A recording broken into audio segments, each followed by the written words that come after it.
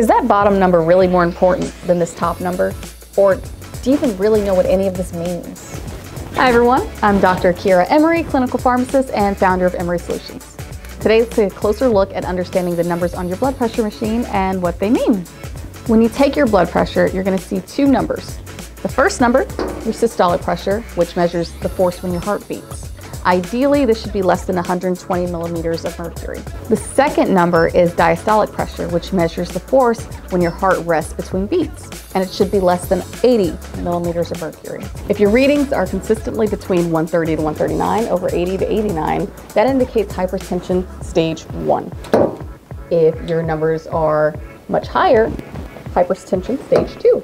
If you see numbers like 180 over 120, seek medical attention as this is a hypertensive crisis. Having a high systolic pressure is a strong predictor of heart disease and stroke, especially in older adults. It indicates how much pressure your blood is exerting against your artery walls when your heart beats. High diastolic pressure, on the other hand, can lead to other serious health issues like heart failure, chronic kidney disease, aneurysms, and cognitive decline.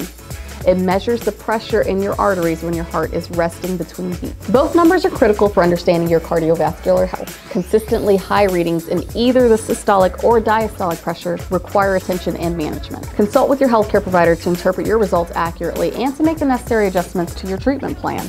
Monitoring your blood pressure regularly is essential for maintaining heart health and preventing complications. Stay informed and proactive about your health. I'm Dr. Kiera Emery, and this is Tips for a Healthy Life.